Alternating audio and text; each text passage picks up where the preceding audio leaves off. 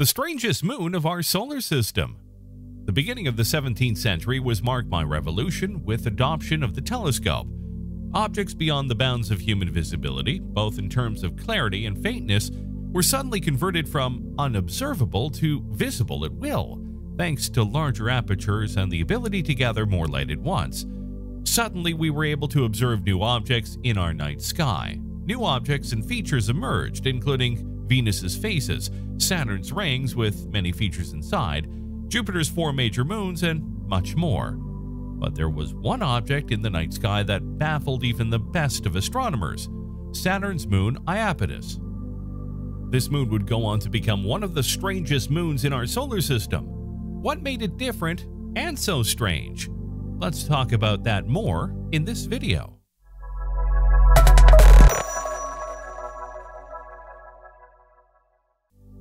In 1671, Italian astronomer Giovanni Cassini was studying Saturn, which already had a massive moon known as Titan, when he found another moon, Iapetus. While Cassini would go on to discover many other moons of Saturn, including Iapetus, it was one of the oddest objects anyone had ever seen in the sky.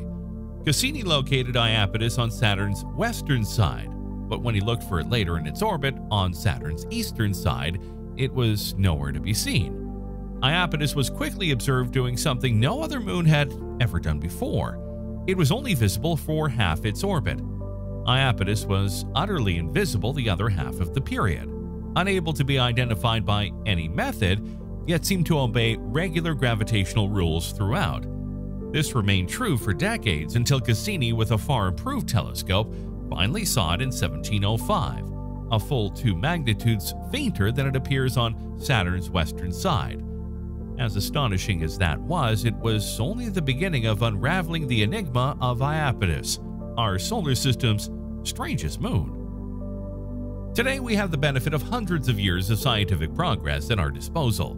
We now have telescopes with hundreds of times the light gathering power of the greatest telescopes of Cassini's day, views that take us into wavelengths that the human eye isn't capable of observing. We also have had numerous observatories in space, and a few of them, like Voyager 1 spacecraft or NASA's Cassini mission, actually traveled to and image these distant worlds in situ. Saturn, like all of our solar system's gas giant worlds, has its own distinct and diverse system of satellites, primarily in the form of moons and rings. The primary rings are by far the most visible feature, with small, young moons and moonlets nestled inside. Saturn has eight significant, conspicuous moons outside of the main rings. Dione, Rhea, Titan, Hyperion, Mimas, Enceladus, Tethys, and finally Iapetus. Of all of these eight moons, Iapetus is the outermost one and possesses three distinct unique features. What are these? Let's look at all of them one by one. 1. Iapetus doesn't orbit in the same plane as the rest of the Saturnian system. Saturn has the second fastest speed of rotation in our solar system, taking 10.7 hours to complete a full circle around its axis.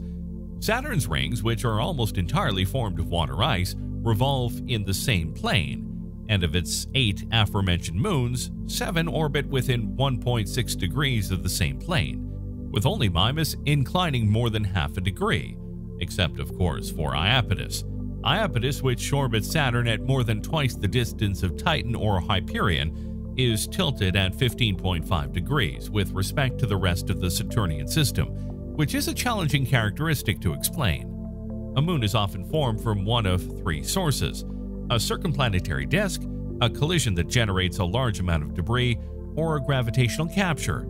Given that Iapetus is Saturn's third largest moon, that it appears to have a similar composition to Saturn's other prominent moons, and that it has almost no orbital eccentricity, even the most cunning gravitational encounters would struggle to move Iapetus out of Saturn's plane, if that's where it formed in the first place.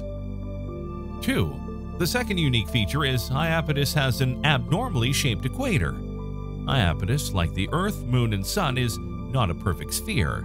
However, unlike the Earth and Sun, which swell somewhat at the equator and seem compressed at their poles due to the balance of gravitation and the angular momentum caused by their rotation, a situation known as hydrostatic equilibrium, Iapetus's characteristics are completely wrong for its motion.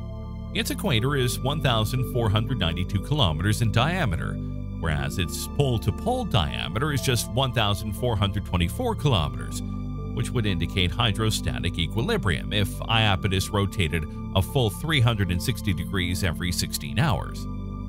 But it doesn't because Iapetus is tidally bound to Saturn, which means it rotates once every 79 days. Furthermore, the Cassini mission's visit to Iapetus revealed something completely new and unexpected a massive equatorial ridge stretching 1,300 kilometers across, or nearly the whole diameter of the planet. The ridge is about 20 kilometers wide and 13 kilometers high, and it almost precisely follows the equator. Apart from the main ridge, there are several detached parts, solitary summits, and sections where the single ridge appears to split into three parallel ridges. It is the only world in the solar system with this trait, and no hypothesis can explain how this world got to have these equatorial properties. 3. Iapetus has a distinctly two-tone color. Believe it or not, Cassini himself proposed this explanation for what he was seeing when Iapetus was initially found.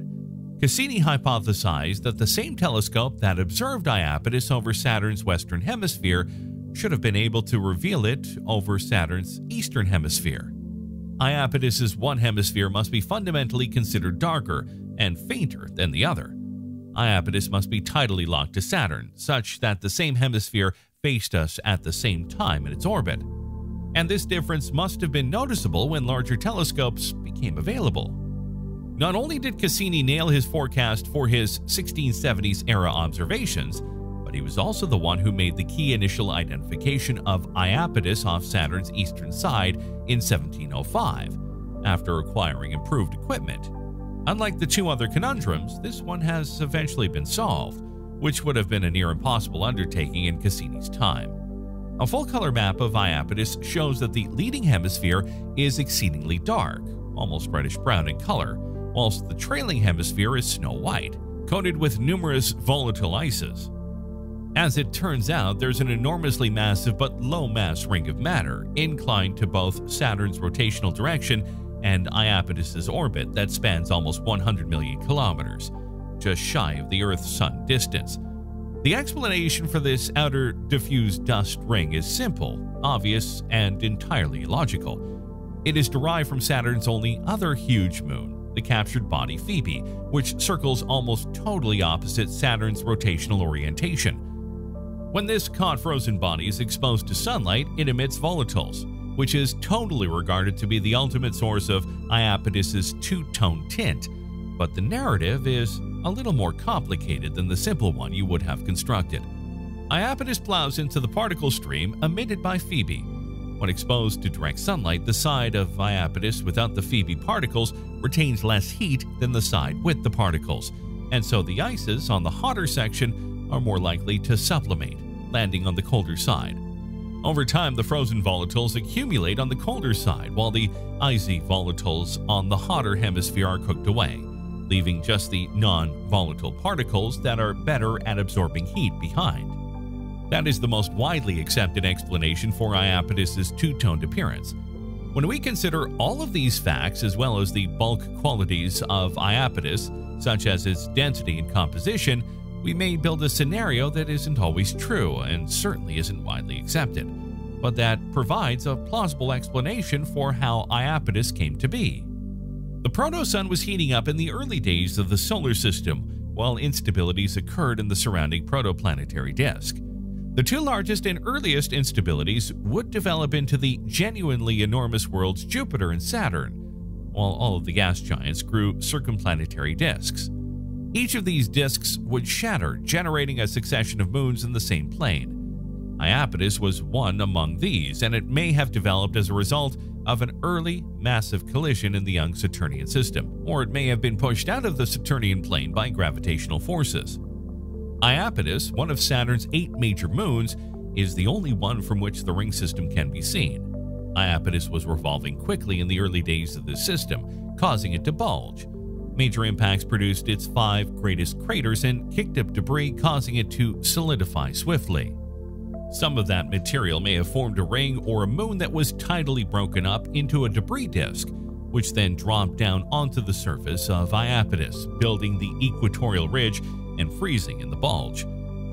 Once Phoebe was caught, a small portion of its dust-rich volatiles landed on Iapetus's leading hemisphere, causing the ices to sublimate and deposit darker material. Throughout the rest of the solar system's history, the ices congregate on the trailing hemisphere, allowing the darker material to accumulate on the leading side. By now, it's nearly a foot, about 25 to 30 centimeters thick. Nonetheless, regardless of how attractive this scenario appears to be, we do not currently have enough information to either validate it or rule out alternatives. The equatorial ridge and bulge could have evolved if Iapetus's crust froze solid in its early stages, with the ridge produced by ice material that upwelled and consolidated. Alternatively, a substantial amount of aluminum-26 could have become trapped in the moon's interior, heating Iapetus and causing these characteristics to form. And given that there are no in-place bodies farther out than Iapetus, it's possible, though not likely, that this is a captured body, similar to Neptune's Triton, that ejected whatever primitive system the primary planetary body originally contained on its way to gravitational capture. It is critical in science to maintain two opposing thought processes at the same time. On the other hand, we must consider the entire system's observed phenomena and properties and take the position that most comprehensively explains everything that has been observed without any deal breaker conflicts. On the other hand, you must consider every possible explanation that hasn't been definitively ruled out, leaving your mind open to modifying every part if newer, better data pushes you to do so. We're in 2021, 350 years after Iapetus's discovery, and we still can't explain everything. That is the nature and limitation of the scientific method. So, what do you think about the strangest moon of our solar system, Iapetus? Let us know what you think in the comment section below. And don't forget to like the video and subscribe to the channel. It encourages us to keep on making high quality content for you.